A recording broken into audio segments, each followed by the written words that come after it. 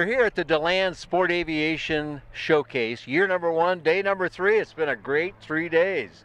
And we saw these couple of very pretty RV-12 sitting here. They look very similar and they got names all over the side of them and it caught our attention and then we found the people behind it. So looking to Scott Malcolm here for giving us some information about it and your son Matt Malcolm who is now flying this. And we're going to hear more about each of that. But first of all, welcome to the event.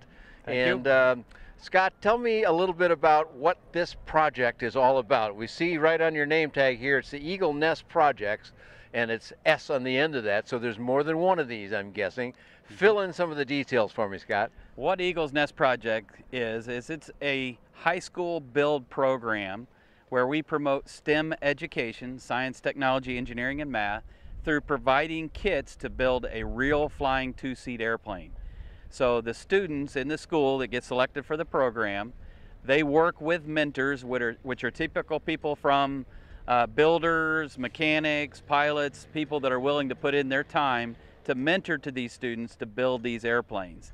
And they work alongside of them, usually within a school year, and they build a real flying aircraft from kits that they can then use to go out and fly and work towards getting their private pilot's license.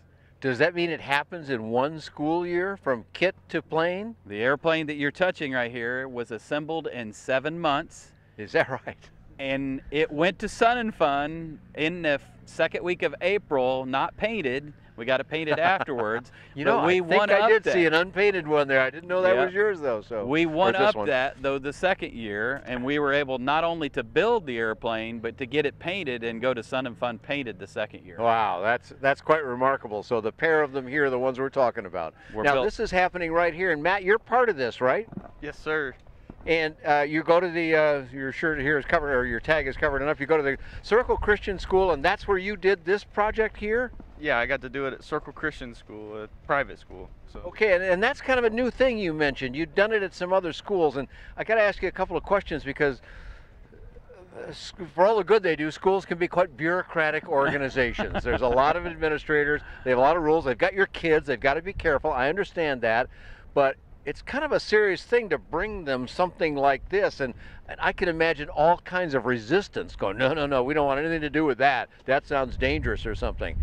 How would you respond to that kind of response uh, to that kind of comment? Well, usually this is no different than a typical shop project that you would do in a public school, where they're using power tools such as bandsaws, grinders, drill presses. Stuff that can hurt you, yes. stuff that can hurt you. So there is, yes, there is the chance or the liability there, but it is no different than any other shop project.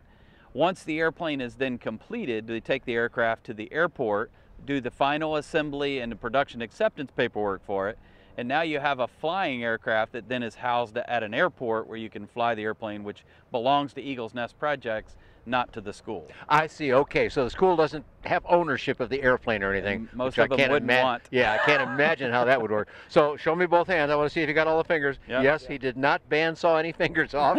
Just kidding you here. But How was the project to work on it? how much time did you spend yourself working on the project, Matt? Uh, probably about 2,000 hours per year.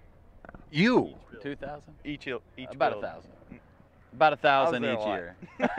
he was there. a lot. He liked it. he wanted more. Well, you got two airplanes, so there's 2,000, I guess. But Yeah. uh, anyway, so you come to school, you do you do all the all the usual, you know, reading, re- reading and arithmetic and all that stuff, and then it's uh, in a, is it in a shop class or is it after school? How does that part happen? Well, it was a little bit more unique because we were able to partner with Embry-Riddle and become an Aerospace Institute program Oh, oh. where we did a dual enrollment You're very close to them. They're right, Right. in Daytona. You're in Orlando. That's close. So and we ran uh, Principles of Aeronautical Science. So on Mondays, they would actually do the dual enrollment class and leave that to come back to the build afterwards. So on Mondays, they were doing both an Embry-Riddle course, which was good curriculum that went along with kind of the build, and then on Thursdays we came in and it was just the build session. So I see, two okay. times a week for just just two times a week. Two times and a you week. got this done in 24 weeks. In tw- wow, yeah, that's kind of an amazing number. That's not even a half a year. So, um, how many people are working in the project at any one time? How many of your buddies were working there with you when you did this, Matt? So on the first build, we had 17 students, including me, and then on the second build, we had 10. So there was there was a good mix of boys and girls that liked working on the airplane. Was it both? I was just going to ask that Yep. question next. Uh, was it all guys, or were there some gals in there as well? Yeah, there's a lot of girls, and they they really brought a different element to it, and they they're more What are you they're more. Uh, they wanted to follow the plans. they wanted to follow the plans. You got to love women. If they give you plans, they mean for you to follow plans, and the guys go, "Nah, I, I could probably figure this out another way," uh, which is good too. I like innovation, but sometimes it's good to follow the book. So Yep, follow the rules. so it's good there was a mix of you then. That worked out well with that. Um, are what's kind of the makeup of the kids that decide to join this? Are they are they all sort of you know mechanical geeks, or are some of them interested in other things and, and just got attracted to this? I think a lot of them were attracted to it, but maybe not necessarily understood what was most attractive about it. Some of Well, how them, could they know before they got into Right. it? Really, I mean, it all sounds cool to build an airplane, but some of them were looking at the engineering aspect of it. Some of Oh, them okay. were looking that they wanted to be pilots. Some of them wanted to be aircraft mechanics. You never know. So I've got students that are going on that have got their pilot's license. I got students that are going on to A&P programs, and I got a bunch of students that are going on to engineering programs. So it kind of lends itself well to all three of those course uh, or uh, career fields with the build. well, and you know that's fair too. Not only their uh, what they're pursuing in their academic pursuits, but what they expect to do later on in life, or just what their general interest area Right. is. You had a wide selection there, so. Male and female, and a variety of different uh, uh, interest areas as they came into it. Um, uh, that's pretty fascinating. Did you work on both these projects, Matt? Yeah, on the first airplane, I got to be a builder, and the second, I got to be a mentor and work teaching the other students how to build the airplane. So, of those two, which was more fun? I think the second one. Yeah, it's it's better to pass the knowledge on than to acquire the knowledge in the first place. Yeah, because I wasn't like directly doing all the work all the time, so I was kind of getting to direct the work that was being done. Cool. Well, good for you. Well, that was a form of education for you that you probably didn't anticipate. I'm guessing. hmm So that's very good too. What role do you play in this, Scott? Uh, you, you must have had. I mean, this. Okay, you, you got into it. You're building the airplane. You're having a great time, and you got it done, and all that's great. But there was some stuff that happened before you ever got to begin this. Give me some of the background. to to uh, to give good credit here, my wife and I uh, basically had to build the program. So we had to lay out the lesson plans, the you know throughout the school year where we are going to be in the build plans, and then we had to actually write down. You know, each quizzes we had to make them because they weren't. It's Yeah, never been right. done before, Where so we had that, to right. make all the quizzes, and then we had the students going in and reading the build plans. We had them watching videos that we had, so that when they were coming into the build, that they were prepared. Now, on my side, I had to be the answer guy, so I had to study the plans, lay out the projects, get every the students assigned to the projects, and the mentors to work with them on those projects, and then had to be there as a resource if any of those projects had any concerns where I could help them and fi- find the material or show them the skill that needed to be done to do them. But I had a, I was very fortunate. I had great mentors that it- was very easy, especially the second year because we had done it once before and we had a kind of had a pattern to it. First year was very very hard. I can imagine that took a lot of hours. I mean, it gives a whole new slant to uh, mom and dad helping Junior with the with his homework. okay, this is a little more than just some math problems at the end of a school day or something, isn't And it? we got to do it as a family. Uh, very fortunate the way that Circle Christian works is we're actively involved in our on our students' education, and we were able to run this as a family. So my younger son and my older son and my wife were back with us in every build session from beginning to end. Yeah, we didn't introduce your other son. He's around here somewhere, but he was a little camera shy. We'll call him camera shy anyway. Uh, but both of them were participating in the project, and another 25 people in addition over two years' time. Yeah. So tell me about when you first went to the school and you said, "I got, the, I, so I got this idea." What kind of response did you get? It- well, uh, to be fair about this, I wasn't the first one to make the call. Eagles Nest right, Projects. you didn't invent this project. I didn't invent this project. You've just been a participant in it. Right. Okay. So there was a phone call made from Indiana to That's the, the director of the school at the time was the headquarters for the for the Eagles Nest projects and said, "Hey, how would you like to build an airplane at your school?" and luckily, on a cold call like that, he didn't hang up on him. He at least listened to him through, and then as he started to say, "Hey, I don't know if you know the Malcolm family," and then they started realizing that Ah, okay. it was, There was somebody. then, there was a connection. There was somebody from their school, a family, and and they wanted to talk about doing a build like this. So for, it went from there to. Oh, that's yeah, pretty fast reception, though. That's not Very like let me take it to the committee under advisement and we'll let you know in five years. well, this call was to the founders of the school, so. Yeah. so uh, well, and again, this is a private school, so you didn't have every organization's got a certain amount of bureaucracy, private or otherwise. But Yeah, in in a, in a regular public school, um, I'm imagining this would have been a more challenging project to get in.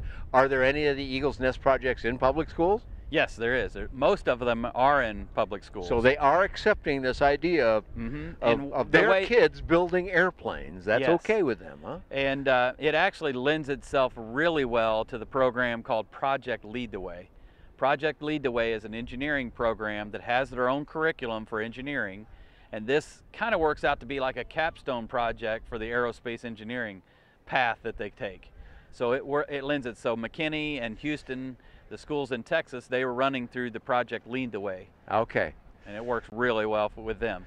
All for right, us, being a private school, we had to work and kind of build the curriculum on the backside. I see. Okay, they were able to use something that somebody else had prepared, Existing but for you, they said, "Well, you want this? Help us out here," hmm which is pretty cool. I mean, it gave you a real tight sense of involvement and a very interesting family thing too. It sounds Yeah. like. Uh, um, I mean, you've just been smiling about this the whole time we've been talking here, so clearly this is doing it for you. That's great, Matt. But uh, uh, how much is mom involved with this at this point? Mom has put a lot of heart into this, and uh, she was the one that was behind the scenes, putting in hours of her time. And and my wife, you got to understand, my wife is not a mechanic or anything like that, but she was reading the build plans in detail and making quizzes to, oh, she to did the quizzes on confirm, this, right? then. To confirm that the students were actually into the plans and studying before they came to the build because ultimately what we wanted was we wanted the students to show up and not say hey what are we doing tonight they yeah. should show There was a up program. knowing what the next part of the build was and have already looked through the plans hopefully watch the videos and they're basically going to come in and explain to the mentor what they're doing Oh. that is a whole nother element so that's some back there's more to it than How big a program is this Eagles Nest Projects program? So over the last five years, this program has grown to the point where we have nine aircraft that are completed, six aircraft in the process of being completed, and another aircraft project beginning next school year. Are they all RV-12? They're all RV-12s. We stick with a standard. Well, why not? I mean, they've got it down as oh, Right. prob- probably better than anybody. Van's has done a great job with the plans. They're laid out well to use as kind of like a curriculum for your courses. So you can't.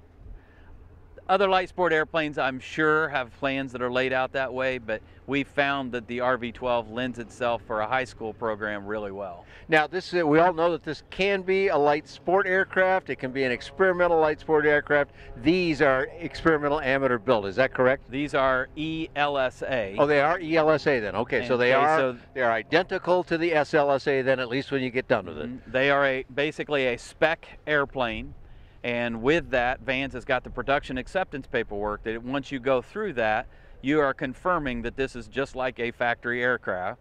So you, you've you've had your hands all over this airplane. You feel at one with it in a way that many people can't even appreciate. Um, how about the flying part? The flying is just, it's amazing. No, How much have you done? uh, I've flown for quite a while. Well, how many hours? Give me a guess. Uh, probably 150 hours. Oh wow, 150 hours. Okay, you're pretty experienced with this thing then. And I understood your other son flew you to an airport. Now he's not even old enough to have a license yet. But that's okay as long as dad is qualified and along with him, and you certainly are. Mhm. And uh, so he was able to fly the airplane too then. Oh yeah, he's uh, also flown me to Oshkosh to the the air show at Oshkosh. Very cool. A nine-hour cross-country flight. Is that and right? That was when he was uh, 14 years old. That's great. I love these stories lot, like this. Lot, a lot of fun. That's They're a great wonderful. airplane to fly. And what a wonderful family experience. Does mom like to go fly with the boys? yes. Mom likes to fly with me. Well, yes, sure. She can't fly with your brother yet. I understand that. And But, uh, he's saying him over me. okay, fair enough. We're going to let it go right there because that was a good one at the end. Give me a web address where we can find out some more stuff. stuff. DeLand.com. Okay, we'll have it up on the screen so everybody knows how it's spelled and everything. Thanks Okay. so much for talking to us here. Uh, again, at the DeLand Sport Aviation Conference, year number one here. You've had a good response. People have looked at the airplanes and enjoyed it. It's been great. Mhm. Excellent. So we'll Great look forward show. to see you at another show somewhere, and uh, who knows who will fly in, but we'll find that out later. Once again, Scott Malcolm, Matt Malcolm, I'm Dan Johnson, and thanks for joining us here at the Sport Aviation at the uh, Deland Sport Aviation Showcase. You can find lots more about the RV-12 and many other light sport aircraft like kit aircraft and ultralights on bydanjohnson.com. Please come next year, and you'll see more about this exciting project. Thank you.